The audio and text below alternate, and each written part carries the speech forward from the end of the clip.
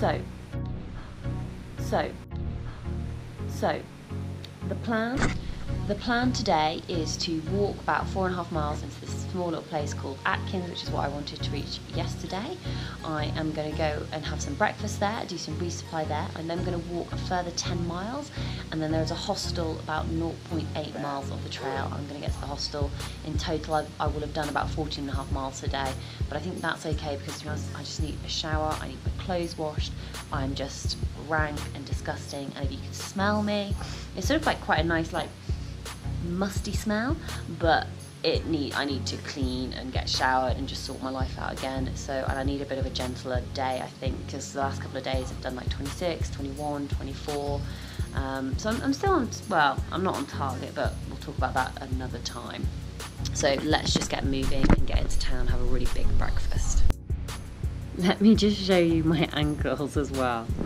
So nice normal ankle. You can see my ankle there you can't I don't know if you can see like that's all sort of bruised all up here and there is it's all sort of swollen. So in comparison I think you can see uh, the difference. So yeah.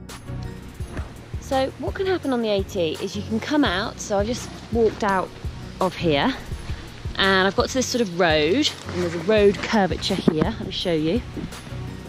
And you're thinking which way do I go? So you're looking for like a white blaze and it's like, do you punt and go to the right? Do you punt and go to the left? These are the scary bits because this is when you can go wrong. So you've got to really focus. So let's have a little. I don't want to make a mistake now. I don't want to walk any extra, any extra miles. Normally it's really obvious as well, like it should be.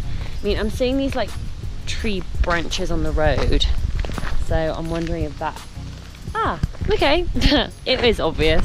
So there, I don't know if you can see it on that tree. There's the next white blaze. It was hidden, but this can happen quite often. So you really do actually have to pay attention when you come to uh, road crossings. And here we go. So we're going to be crossing through this field. I don't know if you can see in the distance, there is actually a white post. That's where we're heading.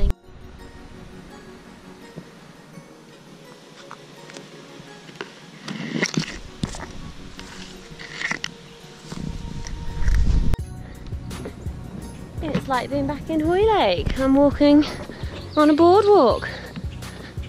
Ooh, very pretty. Right guys, we made it to this little town called Atkins. Like a little shop over there. We've got an Exxon garage down there. And down there, just the distance, there's apparently this place called Barn, which I'm hoping is a restaurant and I can get some food and then I may have to come back to either the garage or this little tuck shop for resupply. Okay, first things first, food, I think I'm getting Doolally. I need food. Oh my god, so much food. I want to eat all the food. Please, please, please be good. Please be good. So, no plugs, no Wi-Fi, but I am going to have an amazing breakfast, I hope. So I'm going for this really hungry, two eggs, two bacon, two sausage, two pancakes and toast. Boom.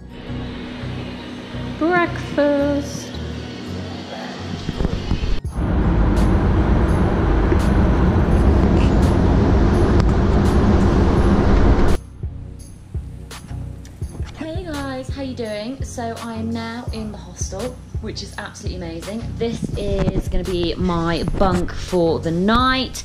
So we've got like a nice clean pillow, clean towel, had a really good shower, all my clothes have been washed, and I've also had an amazing meal. So absolutely fantastic end of the day. Walked about 15 miles in total, so really, really pleased with that. But I'm gonna end the vlog here. So thank you again for watching. Make sure you hit that subscribe button and please like um, like video because Flynn works incredibly hard on it and his link to, to his channel is down below so please do go check out his info as well. Alright guys, take care and I'll speak to you soon. Bye! So I should have actually said this is where I'm staying, Appalachian Dreamer at Hiker Hostel and Shuttle Service, run by 2000 miler Lumber Mac Spain Hour 2006 and wife Kelly, and they do all this like hot showers, laundry, internet, warm bunk room, and tent sites, breakfast, shuttle to and from all this place. So this is where I've been staying. Absolutely fantastic.